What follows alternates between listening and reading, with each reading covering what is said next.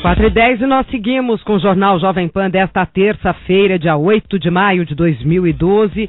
Vamos continuar falando aqui sobre crimes virtuais. Dois casos ganharam destaque nos últimos dias.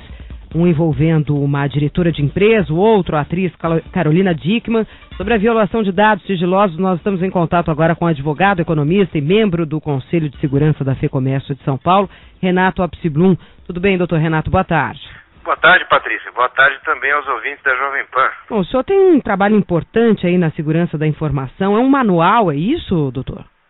É, a Federação do Comércio lançou há quase duas semanas uma cartilha de segurança da informação para as empresas, visando exatamente trazer à tona e orientar as pequenas, médias, porque não também as de porte maior, as empresas para as questões relacionadas à segurança ou à insegurança da informação que nós vivemos hoje em dia. Por exemplo, a questão eh, das informações classificadas, né, como sigilosas, aqueles segredos comerciais, as fórmulas, aqui para nós, pessoas físicas, fotografias, porque não? Estamos aí discutindo aí na, na mídia desde sexta passada o vazamento de fotos pela internet, a questão da extorsão, essa troca, né, eu diria, não necessariamente a troca, mas essa obtenção indevida de uma vantagem partir do conteúdo né, dessas informações sensíveis vem, vem, vem aumentando, infelizmente. Né? A questão que, que nós colocamos é como é que nós podemos fazer a sociedade como um todo, não é, Patrícia, para tentar evitar esse tipo de situação que constrange, machuca muito, não só pessoas físicas, mas é, jurídicas também. E a questão da legislação.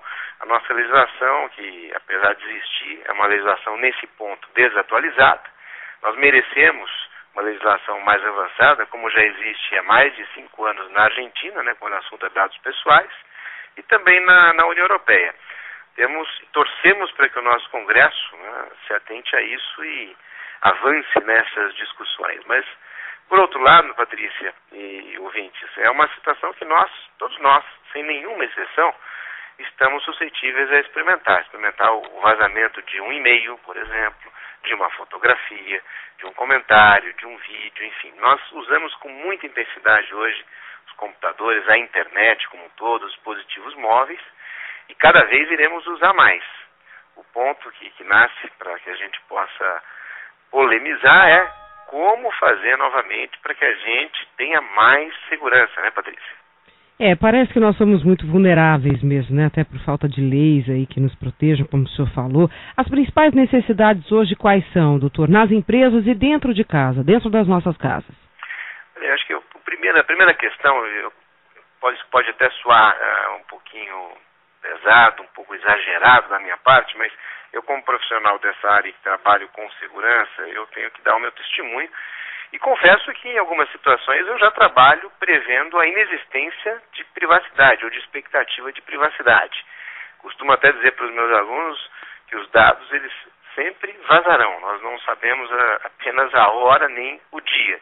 Isso já é um ponto positivo, né? quando essa conscientização do risco ela aumenta, nós temos aí uma facilidade maior na gestão né, do problema quando ele acontece. Então a sociedade como um todo já tendo consciência mínima de que um acesso à internet, um dado pessoal armazenado em um sistema, um computador, em um telefone celular, etc., pode ser apropriado indevidamente, isso já melhora. E com isso a gente tem também a, a necessidade da aplicação de princípios básicos, que às vezes a gente esquece, o bom senso.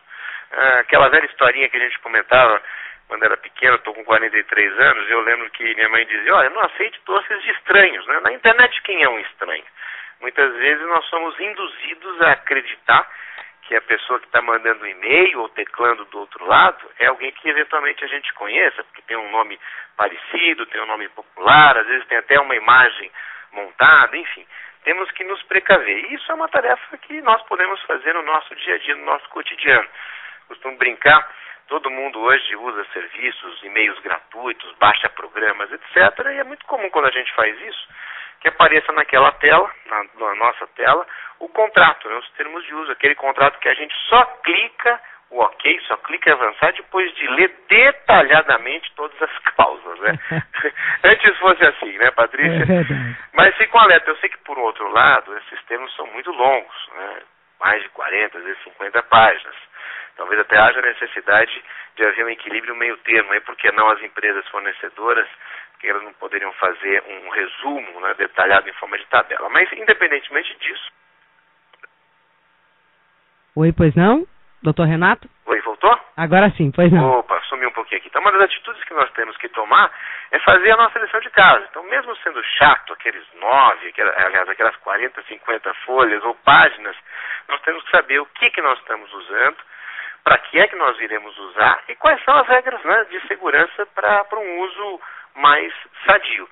Mas hoje, Patrícia, um outro ponto que eu acho que é muito difícil de lidar é a rapidez com a qual a, o avanço tecnológico vem para nós. Então, as redes sociais, por exemplo, né, que hoje estão, estão em moda, e as possibilidades de utilização dessas redes sociais corporativas, a curiosidade, o Brasil hoje é o segundo país do mundo no Facebook, então mostra que o brasileiro realmente gosta de interagir. É, inclusive essa interação serve para novos produtos, para o monitoramento das empresas do que estão falando daquela marca, etc. Enfim. Mas a rede social, por exemplo, nós temos há três meses uma nova forma de lidar com redes sociais, que é o Pinterest. Muita gente não deve conhecer, mas outros devem conhecer. É uma rede que você é, compartilha imagens. Em duas semanas, foram 13 milhões de pessoas que começaram a usar aquela ferramenta. Quer dizer, muita gente por um curto espaço de tempo. Uhum. Nós vamos ter que continuar lutando com isso. A FEComércio lançou essa cartilha de segurança da informação para empresas, está disponível para download, para quem quiser baixar no site da FEComércio. A OAB, a Ordem dos Advogados, junto com o Mackenzie, também tem uma cartilha interessante, é a cartilha do uso seguro da internet para toda a família. E aí a cartilha visa, inclusive, atingir um, um público, é, a cartilha é mais lúdica, as crianças também estão incluídas, os adolescentes, etc. Eu acho que a educação, Patrícia, ela está como primeiro elemento para que a gente possa evitar essas surpresas no vazamento dessas informações com o uso da tecnologia. Qual é o site para a gente fazer o download? O site da FEComércio é fecomércio.org.br.